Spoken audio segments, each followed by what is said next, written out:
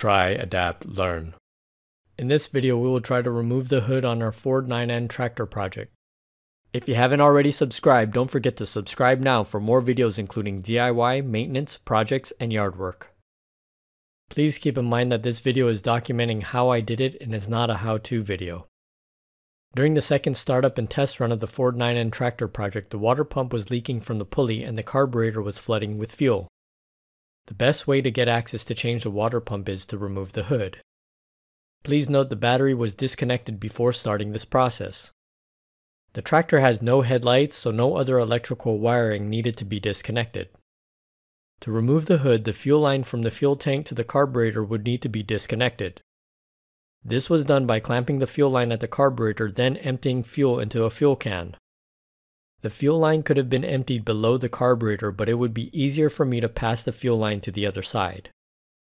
This is because the fuel shutoff valve was located on the other side. With the fuel tank empty, the hood assembly was still too large and too heavy for me to lift. At this time, I do not have a hydraulic engine hoist or a chain hoist.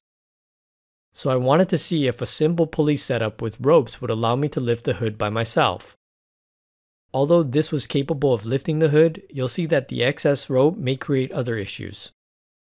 Regardless of my rope and knot tying skills, an advantage of the rope was that it would be able to be tied down in multiple locations. I removed the radiator cap and covered it with tape.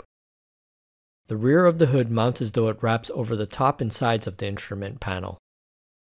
I then took out the fasteners for the four carriage bolts that hold the hood to the instrument panel. Not only do the four fasteners have to be removed, but the rear of the hood must be lifted over the top of the instrument panel. The fasteners required a little bit of effort, but they did come out with hand tools. Next were the fasteners holding the lower part of the hood assembly and grill to the radiator mount. As expected, these fasteners were a little hard to remove. You may notice that these mounts are slightly different than the mounts which have a hole for the fastener that can be seen on the hood lower side panel. And although these mounts may be stock for this hood, the lower mount on the left side or the oil fill side has been modified. On this side, it looks like the mount was re-welded an inch or two toward the center. With a bit of effort, they did come out eventually with hand tools.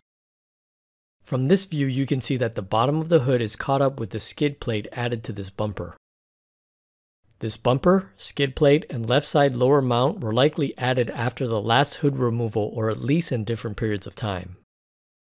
Looking back now, it would have been easier to just cut this whole thing free or remove the skid plate. But at the time and in the moment, I just didn't realize how many different points this hood was caught up on other pieces. Eventually, I did cut a little bit out, but nowhere near as much as I should have. Being caught up in these multiple locations really held the whole hood in place. I was able to pry the rear of the hood and confirm that it was free. Along the bottom of the hood and the skid plate, you can see the two 90 degree mounting bracket pieces. On both sides, these were rusted together almost like a pinch weld. I used the grinding tool and a cold chisel with a hammer to help break the mounting brackets loose. What is not seen is the multiple locations between these mounting plates and the radiator mount that are in front of and create an obstacle for each of the other pieces. Once the mounting brackets were loose, they did not come straight out. The right side mount needed to be lifted out about a quarter to a half an inch before it could come forward. Because the left side mount was a couple inches in, it had to be lifted a couple inches out. And because the right side mount also needed to come out at the same time as the left side mount, I needed to pop out the right side first. Once the right side was out and at an angle, I could pull the left side out and then forward. Now, even though the hood was supported by rope and pulleys at this time, it took a lot of effort and energy. This is especially true because at this time, the rear of the hood was still mounted to the instrument panel. Looking back, I would have put as much, if not more, emphasis and thought into freeing the bottom of the hood as I did thinking about lifting it. Now, if the hood mounts, especially the left side, were in the proper location, I think that this process would have been a lot easier. Again, although it's not seen in the video, there were just too many points that the mounts were getting hung up on.